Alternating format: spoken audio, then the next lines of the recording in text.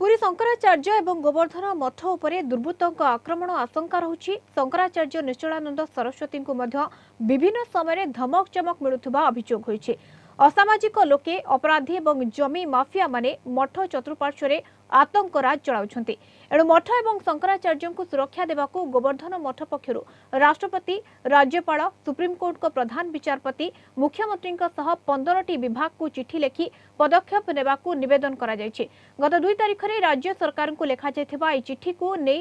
ରାଜ୍ୟ ସରକାରଙ୍କ ଆଇନ ବିଭାଗ ନଗର ଉନ୍ନୟନ ବିଭାଗ ଆର୍ଡିସି ଓ ପୁରୀ ଜିଲ୍ଲାପାଳଙ୍କୁ ଆବଶ୍ୟକ ପଦକ୍ଷେପ ନେବାକୁ ନିର୍ଦ୍ଦେଶ ଦେଇଛନ୍ତି ଶଙ୍କରାଚାର୍ଯ୍ୟଙ୍କ ମଠକୁ ବହୁ ଭିଆଇପି ଭିଭିଆଇପି ଆସୁଥିବାରୁ ପ୍ରୋଟୋକଲ୍ ଦୃଷ୍ଟିରୁ ମଧ୍ୟ ବ୍ୟାପକ ବ୍ୟବସ୍ଥା କରିବାକୁ ମଠ ପକ୍ଷରୁ ଚିଠି ମାଧ୍ୟମରେ ନିବେଦନ କରାଯାଇଥିଲା ଆପଣ ଦେଖିଥିବେ ଗୋଟେ ବୋମା ବିସ୍ଫୋରଣ ହେଇଥିଲା ମଧ୍ୟ ଗୋବର୍ଦ୍ଧନ ମଠ ସାମ୍ନାରେ ତା ପୂର୍ବରୁ ଆପଣ ଗଣମାଧ୍ୟମରେ ମଧ୍ୟ ବିସ୍ତୃତ ଭାବରେ ଖବର ପ୍ରକାଶ ପାଇଛି କିପରି ଅଲକାଇଦା ଏବଂ ନକ୍ସଲମାନଙ୍କ ଦ୍ୱାରା ଚିଠି ମଧ୍ୟ ଶଙ୍କରାଚାର୍ଯ୍ୟଙ୍କୁ ମିଳିଥିଲା ତେଣୁ ଏ ସମସ୍ତ ସୁରକ୍ଷା ବିଷୟକୁ ସରକାର ନିଶ୍ଚିତ ଭାବରେ ଗୁରୁତ୍ୱ ଭାବରେ ନେବା କଥା